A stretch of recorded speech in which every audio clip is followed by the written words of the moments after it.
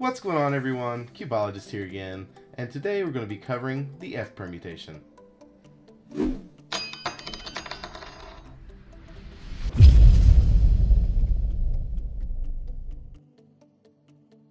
Now recognizing this case is really easy. You can see that there's a bar on one side and adjacent to that bar, these two pieces are going to be opposite.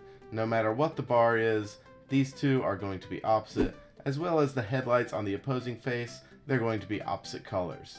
So in order to execute this case, you want to put the bar on the left side and do this algorithm. R prime, U prime, F prime with your thumb, R, U, R prime, U prime, regrip, R prime, F, R2, U prime, R prime, U prime, R, U, R prime, U, push with your left index finger, R. And that will fix your case. So right in the middle of this algorithm, there is a block right after the F prime that is like right there. I'll actually highlight it for you. It's a lot like the T permutation, and it'll be really familiar to you if you know the T permutation. But that makes this case a lot easier to execute if you already know that. But if you don't, that's not a problem. But just keep that in mind if you're learning this algorithm and the T permutation because they have about eight or nine moves in common, and it makes it really easy. Now, in order to do AUF with this case, it's another really simple one. Um, the bar is always correct, and the opposing center is always correct.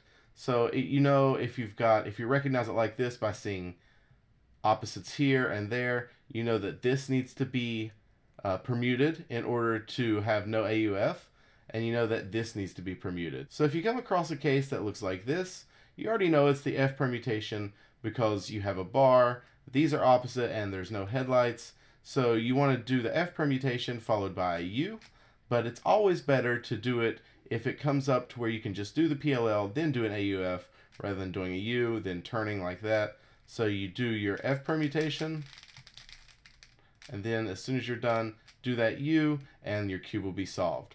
But I really hope you guys have enjoyed this video. I know that the F permutation is one of my faster algorithms, even though it's pretty move heavy. But stay tuned to the series because the next episode will be all four G permutations, and that's actually pretty fun because I really like the G permutations. Some of them are really quick, actually. But as always, guys, you'll hear from me really soon, and thanks for watching. Bye.